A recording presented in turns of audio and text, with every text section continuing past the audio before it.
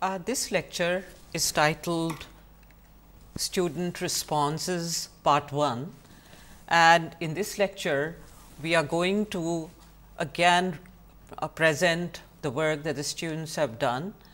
We have ensured that there is some kind of linear structure to these reports that the students have presented, so as to maintain clarity of content and the discussion we have conducted followed by the work undertaken by the students. So, this particular lecture deals with mime and plot. While writing a mime, the writer and the blank page have a, a very intense relationship with each other and the blank page offers infinite possibilities. Keeping this in mind, I had written a mime for the students, which was read earlier. I, will just briefly read out the titles of this mime, uh, mainly to draw your attention to the fact that even while performing a mime, you have to think of the script, you have to craft it in order that the ideas are fulfilled although wordlessly. This mime is titled Playing by the Book and the locale is any enclosed space and as you recollect the actor enters with a chair. So, this was part 1 of that mime in which the actor picks the book and towards the end in frustration throws the book.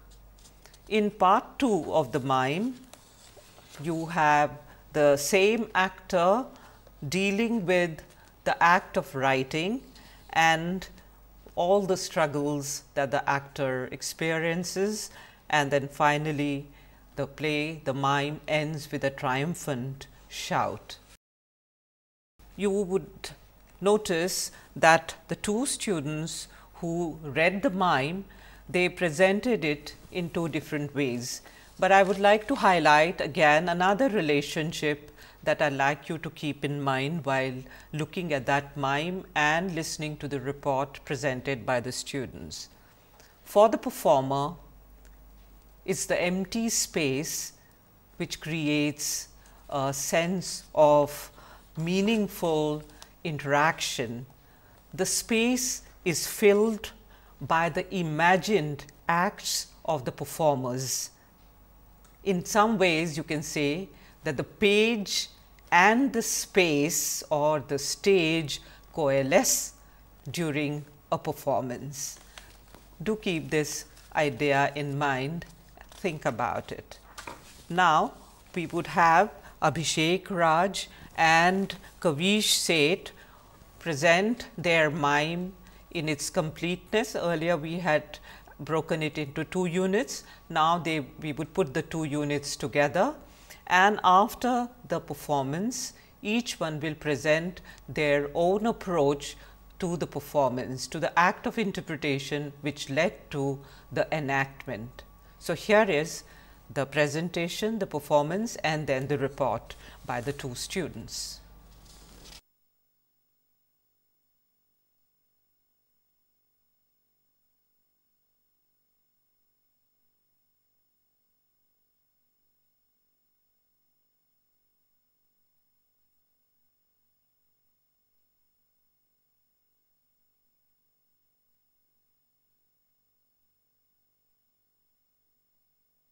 गज़ब सा बाज़ार हुआ ऐश का सामान हुआ गज़ब सा बाज़ार हुआ और और क्या हो सकता है और ये बार बार हुआ और ये बार बार हुआ बार बार बार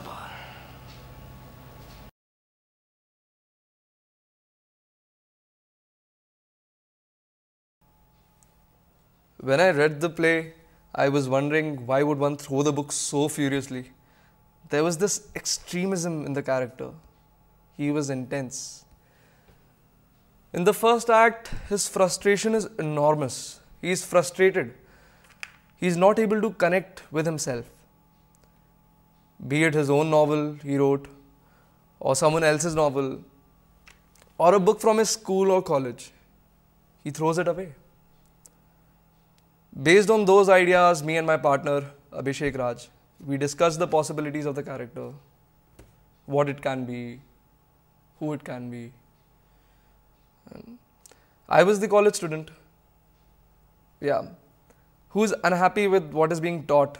He wants to learn, but not by the methods used by teachers nowadays.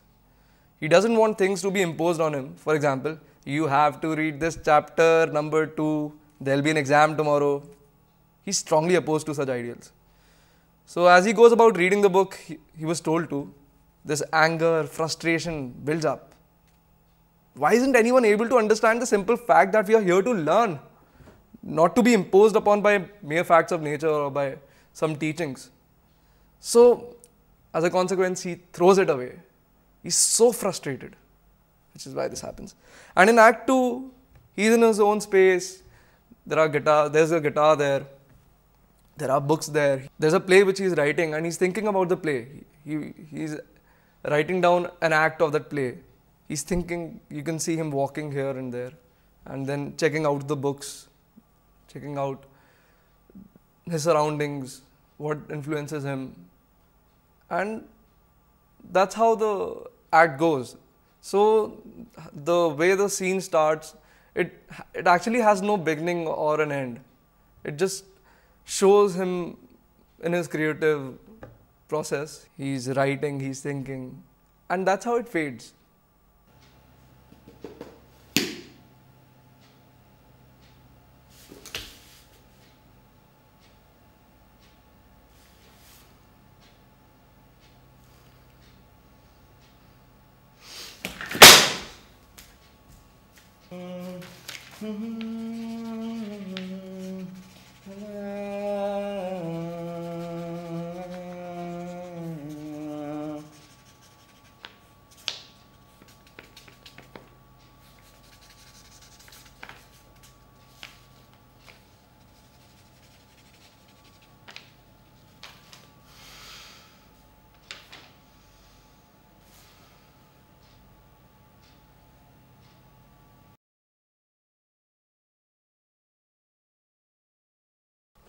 Um, so, this is um, my uh, report about the mime that I performed uh, for the course.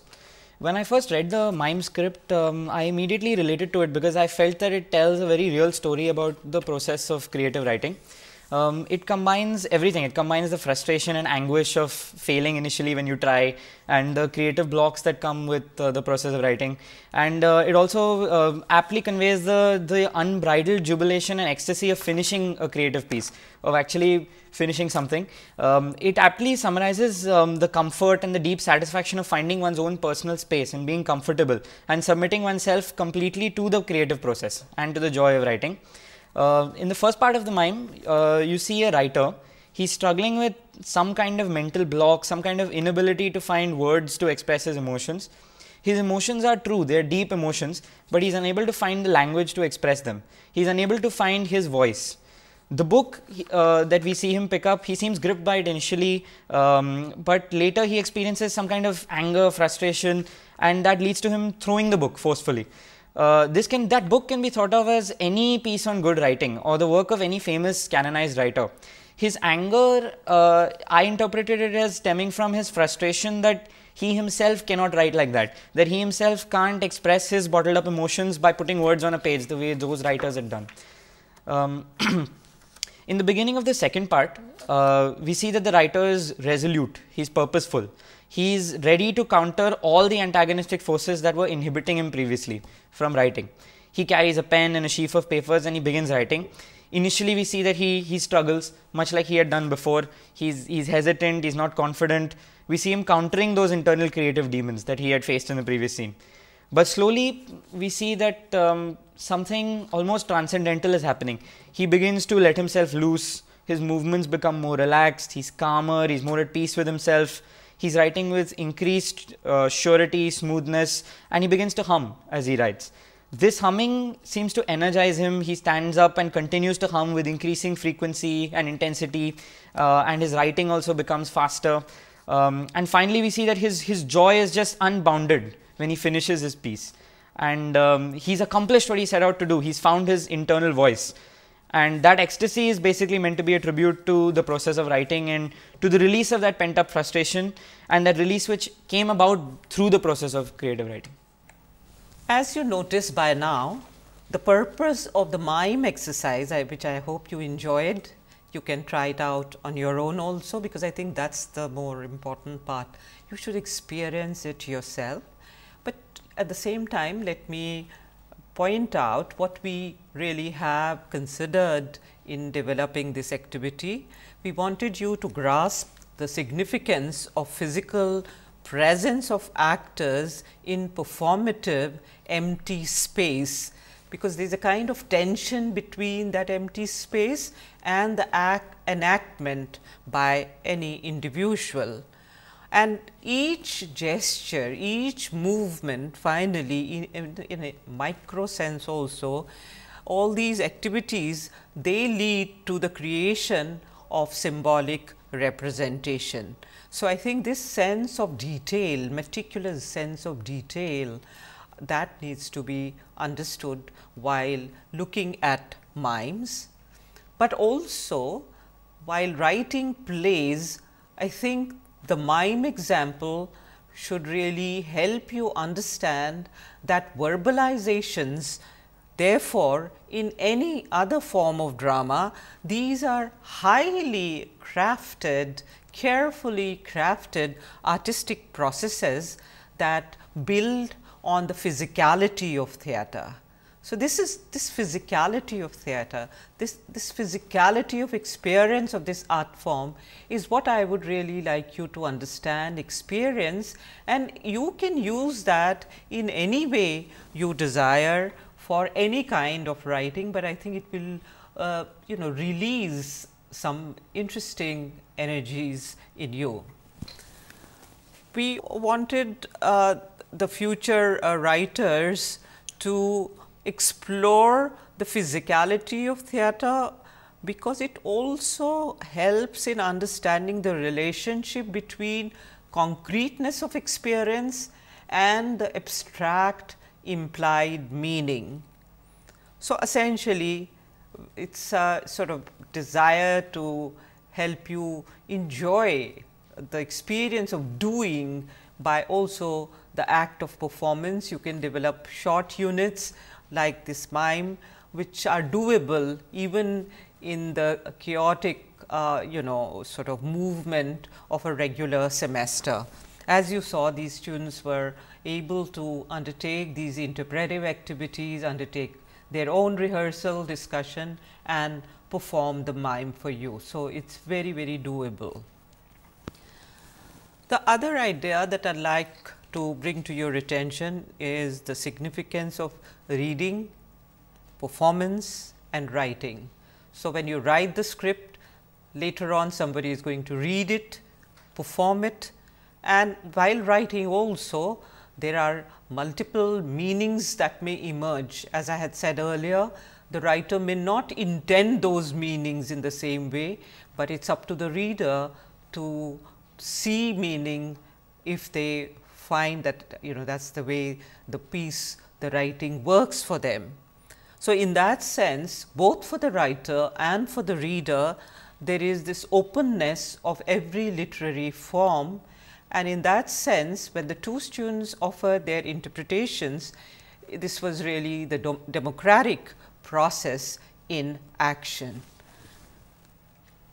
After discussing mime and also the physicality of mime and in some ways the primordial nature of this act of representation, I would now like to shift to the notion of plot, because this was another important discussion that we had conducted in our uh, elective and also with you in this course.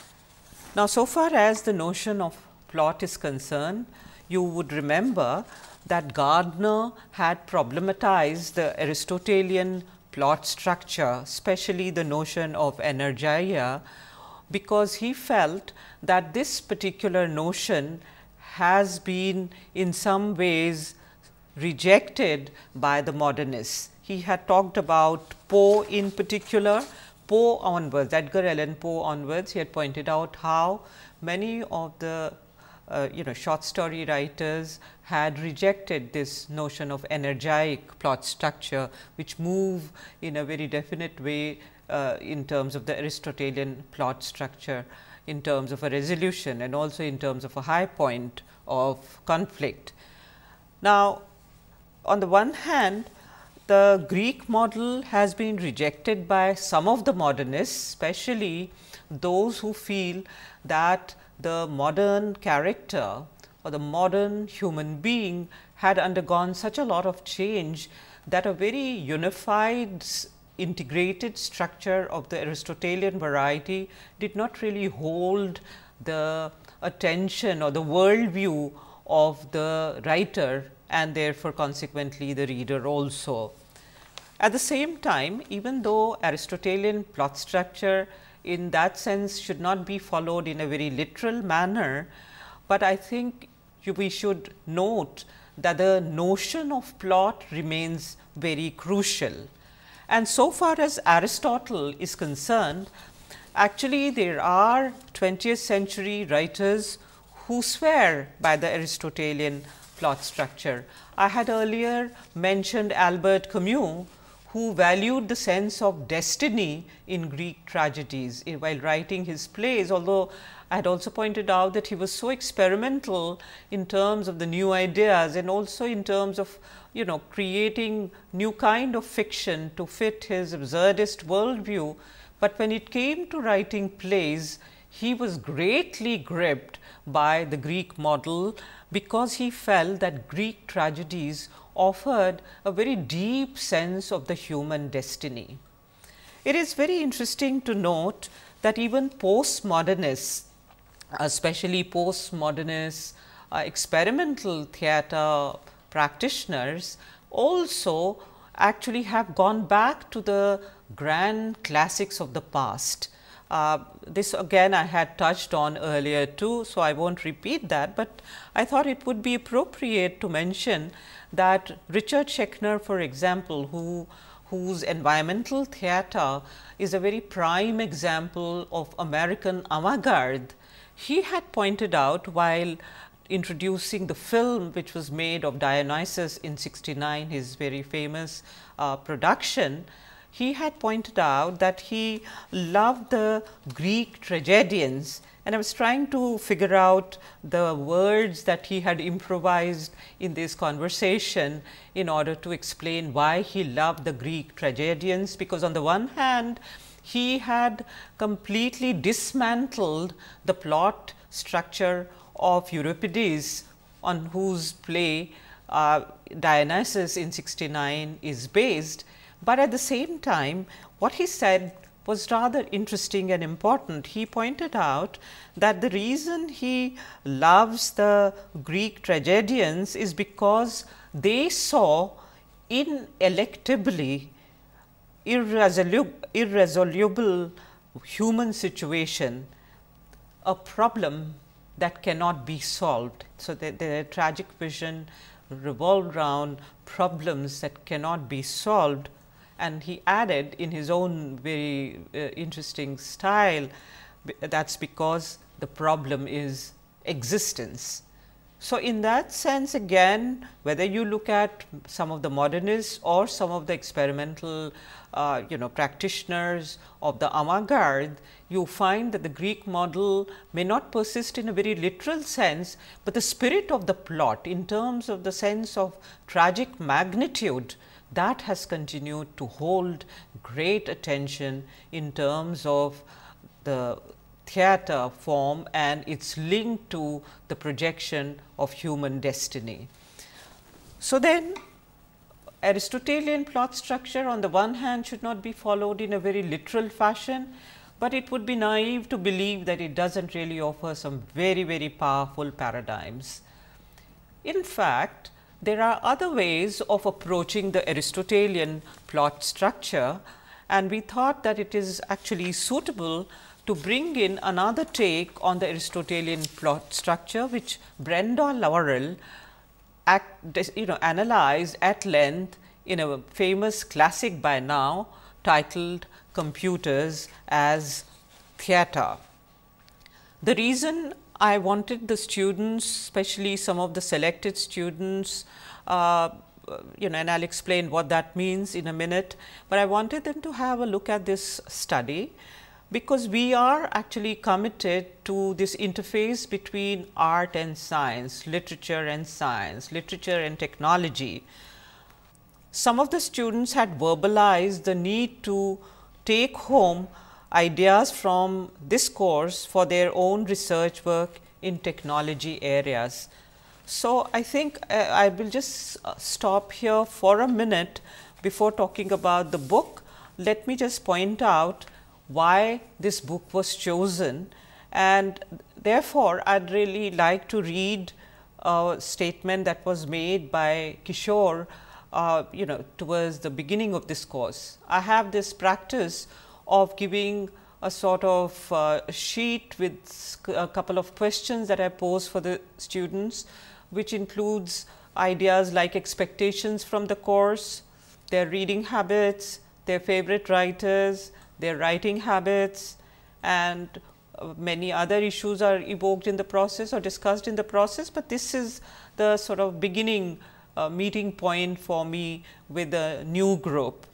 And while I gave this exercise to the present group, uh, Kishore wrote some very interesting things and I am just reading this paragraph to enable you to see how many of these issues of interface now have begun to loom large in the consciousness of the students. I will not read everything that he wrote, but this particular paragraph I can't really resist the temptation of sharing it with you. I pursue writing as a hobby, but I have sometimes had difficulty in getting to that creative space. At the end of this course, I hope to become a better writer after having understood the creative process. It would also help tremendously with my research at IITB. I am developing a lot of cutting edge new technologies. The process is very similar to writing. One needs to enter a creative space, let the mind wander and come up with creative solutions. This course would definitely help me become a more innovative designer and researcher. So, this is what Kishore had mentioned and I was constantly trying to figure out how to really reach out to Kishore and to every other student you know who had certain expectation from this course. And so, I asked Kishore and Ravi Kiran who was also equally, equally interested in similar ideas to examine the book on their own. I did not give them too much of a backdrop in terms of the book except to point out to them that there are these highlights that they could uh, look at in terms of uh, her statement and let me read that statement for you. You know Brenda Laurel says that when we look toward what is known about the nature of interaction, why not turn to those who manage it best, to those from the world of drama, of stage, of the theatre. And she had gone on to discuss Aristotelian plot structure and also the Freytag's triangle which was developed by Freytag in order to diagrammatically represent the you know highs and lows of the Aristotelian uh, plot structure. We have shared that earlier with you, but this is the other diagram that we ourselves had prepared in terms of beginning, middle and end, the starting point being an exposition, then rising action, then climax, falling action resolution around the protagonist's conflicts which are selected by great playwrights in order to show the you know tryst of human beings with their own destiny. So, then uh, you know both Kishore and Ravi Kiran spent a lot of time reading the book, talking to me and we also recognize that actually uh, Laurel is really not using the Aristotelian structure uh, you know in a very uh, limited way. She is also aware of the fact that contemporary versions of the Freytag's triangle are more irregular and jagged reflect, reflecting the differing patterns of complication and resolution.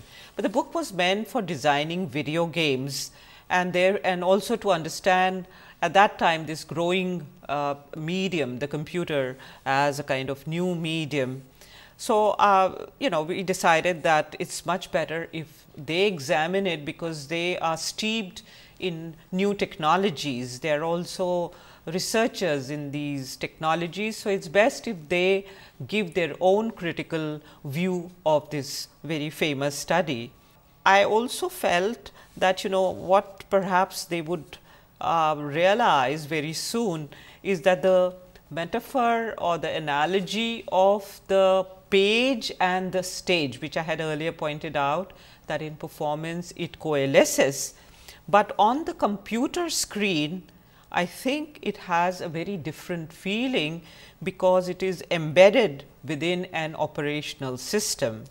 And also the player or the user or the actor using the computer is very different from an actor or a writer in the sense that when you are performing a, a sort of specific piece then you are already in an imagined world and that is fairly well worked out.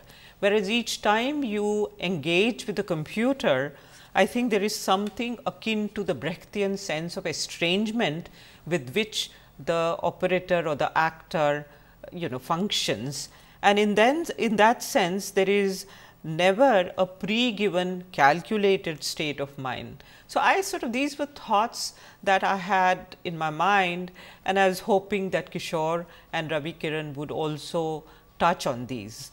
You will have to decide as to which of these ideas they touched on, but I certainly found that they spent a lot of time trying to understand the book.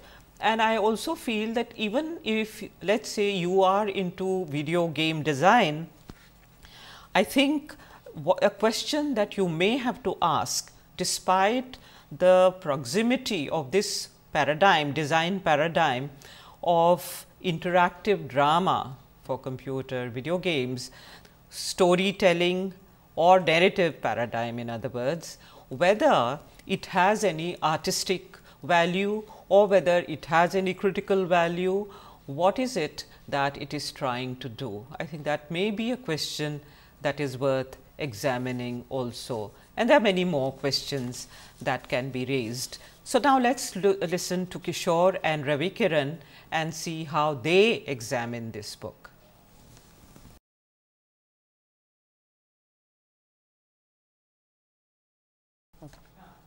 Computer as Theatre by Brenda Laurel, a critical review by Kishore Nair and Ravi Kiran.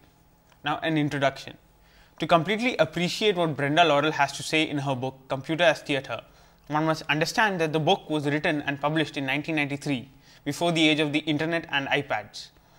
In the book, she amalgamates the theory of drama, particularly Aristotle's poetics, cognitive sciences, communication theory, psychology, and the thoughts of countless other authors and thinkers to effectively give a framework for designing human computer interfaces.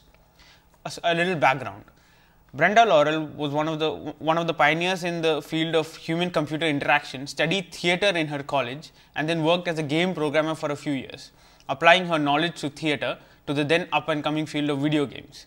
After her stint as a game designer, she did a PhD in computer based interactive fiction. The book Computers as Theater is a result of the ideas she developed over a 20 year period. The work was pathbreaking at the time, something inferred by the fact that the work has been cited 2198 times as per Google Scholar. Many of the ideas that she presented 20 years ago became widely accepted principles holding immense relevance to the internet and mobile era. Although Laurel's intended audience are game designers and programmers, some of her observations hold relevance to anyone involved with design or technology. The book tends to get quite technical in its analysis of the theory of drama and its application in software design. In fact, a significant proportion of the book is devoted to definitions and explanations of fundamental concepts. In simple words, the, the work is like a textbook meant for a true seeker and not for the casual reader. The book introduces the reader first to Aristotelian drama theory and all its nuances, such as the need for a plot or a game to have a beginning, middle, and an end. The flying wedge model, where the object of a play or a game is to narrow down the possibilities to probabilities and then to necessities. She also talked about the importance of the play or, or any software being a single complete action and about the use of agents in both plays and software. She introduces the concepts of reversals, mimesis and catharsis and the Freytag's triangle and how it could be applied in software design. The explanations are effectively given such that even novice readers can easily learn about the basic theory of drama and draw comparisons with software design. Most of the examples cited by Laurel are archaic, with most of them having died most of the games having died out even before many of us were born. This results in a loss of perspective many a time, but one can get a feel of what Laurel is trying to say by looking at modern day games and software that are not mentioned in the book, but then you generally know anybody who's played games. For example, the World of Warcraft, the world's largest multiplayer online game with 10 million subscribed users, regularly employs this technique of reversal with expansion expansion packs coming out every 2 years that completely alters the plot and and the experience of the user and retains interest of the user. Now, Laurel also gets across several other interesting thoughts to the readers as well, some very, very interesting things. For example, the notion of how action must be constrained to result in creative output in both plays and softwares. Computer users must be engaged in, in the same way a performance engages the audience's attention through directed flow of information instead of intimidating them with loads of data.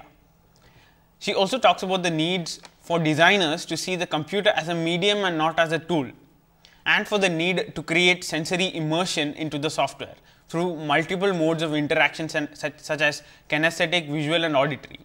She also talks about how about the history of interaction, about interactive plays, about interactive movies and how video and computer games came about and, and the next and the next part of her discussion is about virtual reality. She also goes on to make many very interesting observations. For example, and I quote, Gestures can be used as a principle or even the only component of language in a human computer activity. This was, this was said in 1993 and we see this in action today in our mobiles. The technology called swipe where we use just gestures to, to, to interface with the mobile. Many of the things uh, that she talked about are relevant to non-programmers also. This part comes up more, more towards the end of the book. They include firstly the, the concept of art in technology. Laurel brings it out properly through the line Movies did not achieve wide popular success until artists replaced engineers as the primary creator. And this, she goes on to say, is true for computers and game design as well. She highlighted the importance of art in technology much before Apple took over the world through the symbiosis of art and technology in its landmark products such as the iPod, iPhone, iPad, and iTunes. She also talks interestingly about new technologies and management, how management is, is essential. Uh, is essential. Laurel, through the description of the disaster of virtual reality, describes how path-breaking technology generates a spurt of new ideas in the first few years. However, success is achievable, achieved only if the technology uh, has been managed effectively. That is, creativity, expectations, cultural issues, and deliverables has to be ma managed effectively through the initial hype.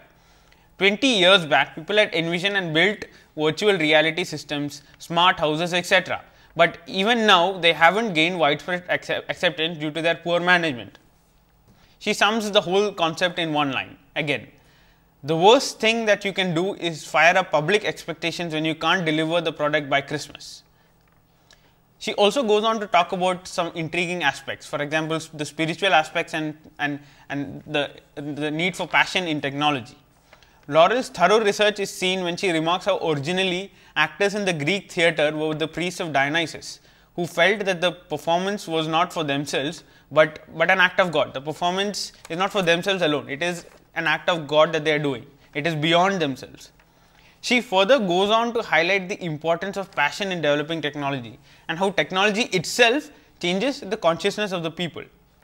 Brenda Laurel's explanation of these ideas is remarkable. The very same view on passion and technology later went on to be immortalized by Steve Jobs. Now, a, a, conclusion. The fact that the book was written for an audience for the 90s with technical references from the 80s and the technical nature of the manuscript is the only difficult part of the book. Laurel clearly saw and defined the future accurately. The, the, this work impacted the thought process of several designers post the 90s and impacted how technology is seen now. The irony is that what Laurel said in 1993 was made famous by others like Steve Jobs and Apple. Furthermore, technology has developed to such an extent that many of the things Laurel talked about are now very intuitive. intuitive. This further increases the disconnect with young readers. However, the book does justice to the true seekers by establishing the fundamental principles effectively. Thank you. I would have to end this uh, session at this point because it deals with the student responses. Thank you.